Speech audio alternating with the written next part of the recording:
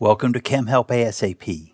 In this video, we will broadly review some of the steps involved in the optimization of a lead to improve its properties as a possible clinical candidate. Upon completion of this video, students will be able to outline the lead optimization process and describe the importance of confirming in vitro results with consistent in vivo data. The challenge for lead optimization is to improve the properties of compounds in the lead series. Those properties include potency and efficacy, properties related to PK like permeability and solubility, and properties related to safety like hERG binding and target selectivity. We can demonstrate this idea with a radar plot. The greater the area within the plot, the more optimized the lead has become. These improvements in properties are achieved through structural modification of the lead. Let's generalize how these optimizations are achieved. A typical optimization program relies initially on in vitro studies. New analogs within a lead series are prepared and tested rapidly in in vitro assays that monitor potency, ADME properties, and safety. Once the in vitro properties have been improved to an adequate level, the most promising compounds will be studied in vivo in a preclinical animal species. PK studies are normally performed first to ensure that adequate exposure can be achieved in the plasma by the selected route of administration.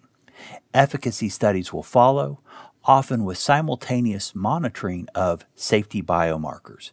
Data from the in vivo studies will guide another round of optimization that will culminate in another in vivo study. This is a highly iterative process with feedback driving future decisions. A lead's in vitro properties do not need to be perfect, and even a flawed lead may be studied in vivo.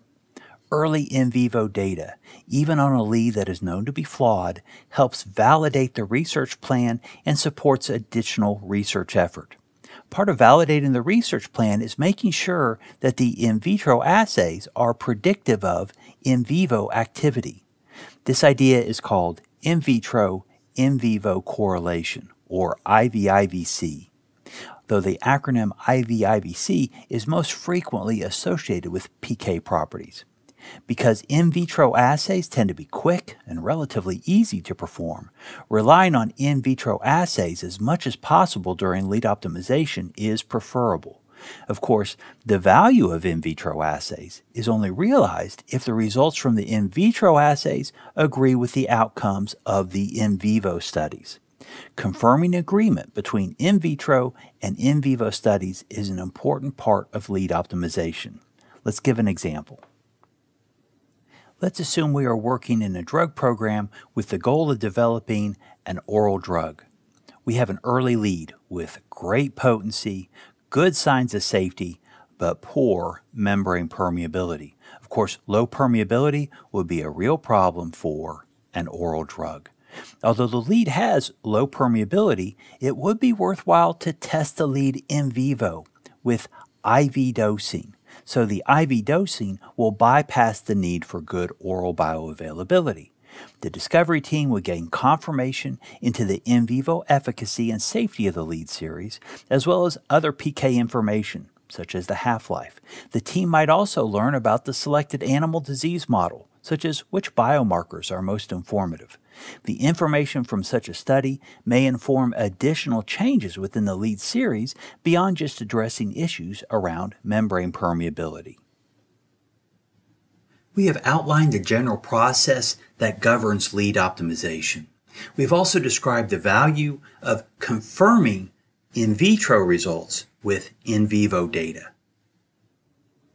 Thank you for watching all the way to the end please share any questions or comments you might have in the comments section under the video. Take care.